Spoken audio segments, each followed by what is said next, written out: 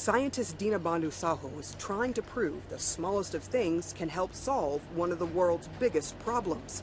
For 25 years, he's been peering into microscopes at algae, the organisms many of us see as unwanted pond scum. But he, among other scientists, have discovered this green looking goo can actually be a weapon against global warming. How amazing are algae? They're beautiful, microscopic to macroscopic. You can find them very, very small under the microscope.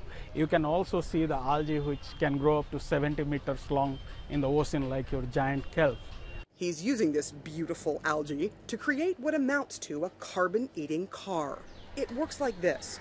Algae is poured into a container on the car. The tailpipe is fitted with a device that channels the exhaust through a tube and into the clear container carbon dioxide coming out of the tailpipe goes directly into the container. Sahu says algae can capture carbon dioxide, and with water and sunlight, the algae multiplies, and oxygen is produced as a byproduct.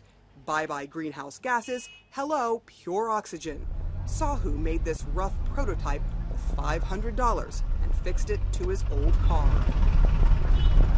The problem with the invention as it is right now is Nobody wants that on the top of their car. But our inventor here says that with the help of the automobile industry, it will get sleeker and become much more desirable.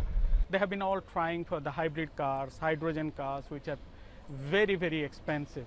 And this is a very simple device which can be fitted into the car.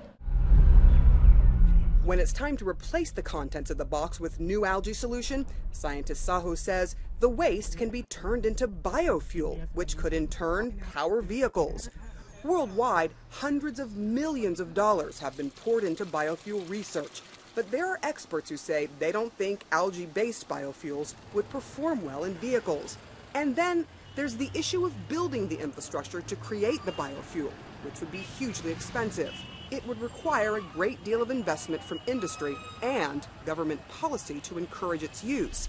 Still, Sahu hopes his relatively cheap invention can help cure the world's rising temperatures with seaweed. Sara Sidner, CNN, New Delhi.